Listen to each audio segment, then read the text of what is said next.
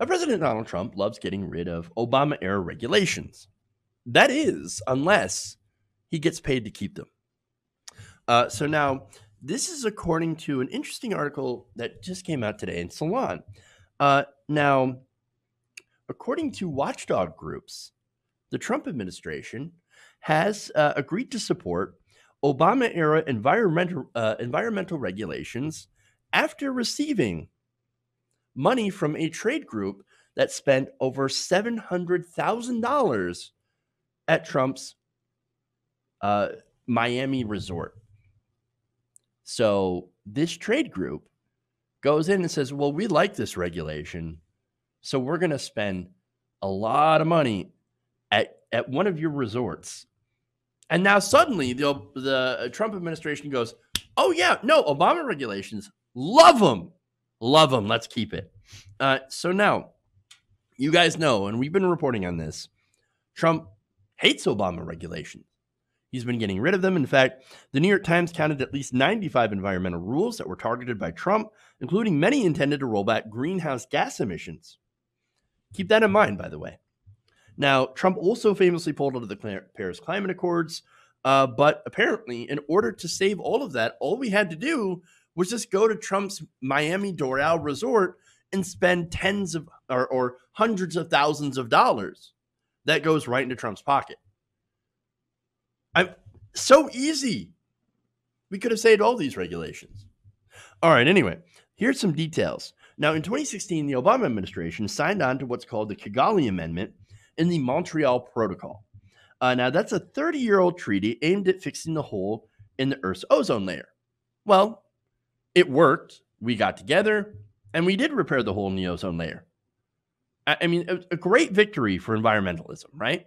uh, and of course, of all these governments working together towards a common goal to protect the environment.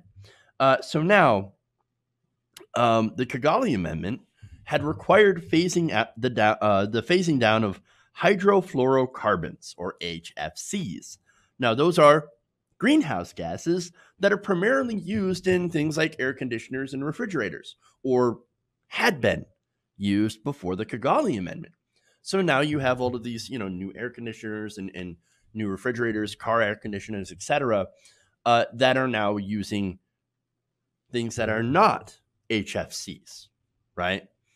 Uh, and so now the State Department under Donald Trump had announced in 2017 that Trump continued to back the amendment by the most explicit and public way yet. So they said, Kigali Amendment. Oh, yes, we absolutely love the Kigali Amendment. Uh, the best thing the Obama uh, administration has done ever.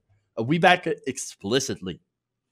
But it turns out the reason that they did expl- uh, back it explicitly is it was after heavy lobbying from the Air Conditioning, Heating, and Refrigerating Institute. That is a trade group that represents heating and cooling product manufacturers. Now, in this case, the lobbyists are actually on the the side, the good side, they're the good guys, and because they're saying, "Oh no, we we we like that amendment. We hate the fact that there is, um, you know, that that that there could be a hole in the ozone layer." Uh, and of course, look, they also hate the fact that, uh, in their eyes, it could reduce manufacturing, right?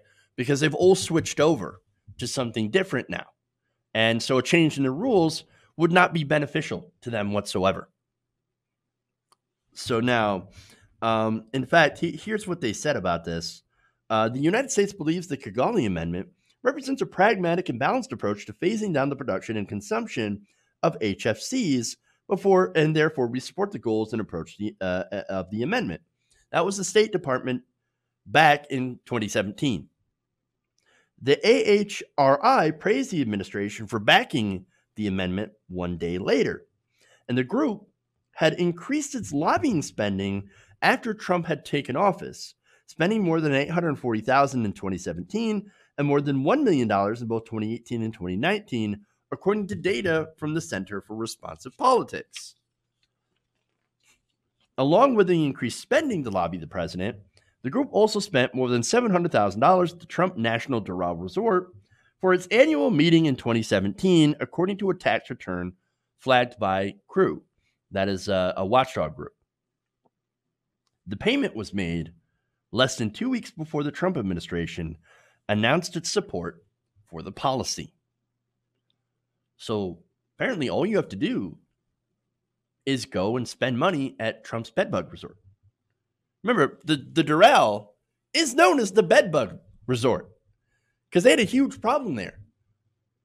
But this lobbyist group, they says, well, how do we get to Donald Trump? Well, I know. We go spend a ton of money at his resorts because Donald Trump has not divested from his businesses, right? Uh, yes, he has his sons that run it, but he hasn't divested, which means that money goes back into his pockets. It is clear personal corruption. And these companies know it. And, and at least in this case, you had a group that a trade group that was actually doing the right thing, yes, for selfish reasons, but was saying, well, you know what? No, we're going to keep this regulation to actually reduce greenhouse gases. And so we're going to lobby you and bribe you in the way that we know how, because you we know that you're the most receptive to it in this way, in order to keep that. I mean, it's just uh, it's so obvious corruption, right? So now what's interesting about this is that it didn't work. Now, the policy had stalled because the administration has failed to submit the amendment to the Senate. So maybe there's a, you know, a lot of the other Republicans who didn't get money from this are saying, "Oh no, we it's still an Obama regulation, so we still absolutely hate it." Right? Now that goes to the H- uh, AHRI planning another big event at Trump's resort, advertising a quote leadership forum scheduled for 2021. The AHRI event was one of 120 events held by special interest groups at Trump's properties, according to Tracking by Crew. So, this shows, of course, just how many of these companies are doing this very thing. The groups and political campaigns and committees have spent millions at Trump's properties since he took office, despite spending next to nothing at Trump properties in the years preceding 2016 because they know how to bribe him. The Trump reelection campaign has also paid millions to the president's own properties. Trump even proposed holding the next G7 summit at the Doral Resort before caving in the uh, face of bipartisan pressure and international criticism. So, look, uh, I think it's it's obvious corruption. Obvious corruption is obvious. Uh, yes, these companies know exactly how to reach Donald Trump to try to get things done, and of course, the kind of person that Trump is is that he has no core beliefs. His only core belief is how is it going to benefit me? What am I going to get out of it? And so I guess, look, if you're Tom Steyer, think about this, right?